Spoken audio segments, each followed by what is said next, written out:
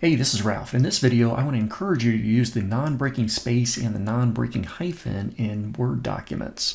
So this came up with a student whose paper I was looking over, and it's really easy, but with proper names, business names, organization names, people's names, you shouldn't break the names apart onto two separate lines. Let's see what I mean here.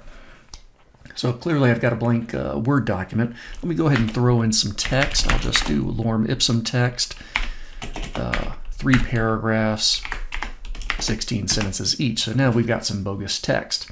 I'm going to zoom in a bit so that we can really see this. And let's assume I'm writing a paper or a report or a letter about someone like Tim Berners-Lee. Okay, now where I put it didn't quite break, but let me just add a couple more characters here. Make sure I spell Tim properly. There we go. So here's where the problem lies.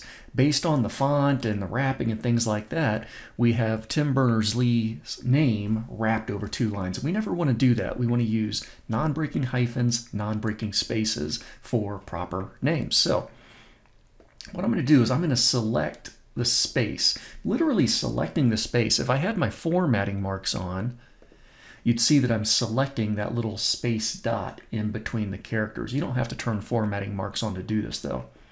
So I'm select selecting the space, and on my uh, PC, I'm going to press Control Shift Space. Control Shift Space makes that into a non-breaking space.